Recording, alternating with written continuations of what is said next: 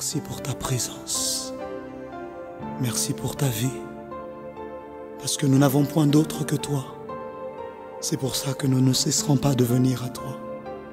Si nous avions d'autres sources, nous serions allés. Mais nous avons cherché partout, tu es le seul.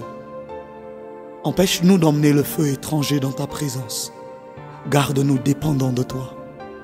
Même lorsque tu nous feras monter et que nous aurons tout, que nous sachions que tout n'a pas de valeur sans toi. Et que même si tu es seul et qu'il n'y a que toi, alors nous possédons toutes choses. Nous avons besoin de toi aujourd'hui et demain. Et quand tu reviendras après-demain, nous aurons encore besoin de toi. Tu es le seul que nous voulons, le seul que nous désirons. Tu es l'aide dont nous avons besoin. Il a dit, je vous envoie le consolateur. Si donc toi tu n'es pas là, ça fait de nous des orphelins. Alors s'il te plaît, ne nous laisse pas orphelins.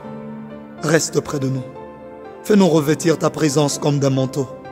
Fais-nous revêtir ta gloire comme d'un manteau, jusqu'à ce que nous soyons écroulés par ta gloire, et que notre visage devienne invisible, et que comme sur le visage de Moïse, que seule ta gloire reste visible, s'il te plaît.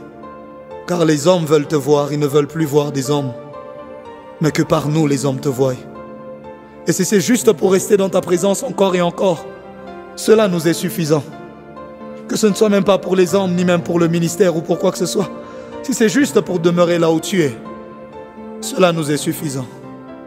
S'il te plaît, s'il te plaît, Saint-Esprit, dans le nom de Jésus. Dans le nom de Jésus. Merci, Saint-Esprit.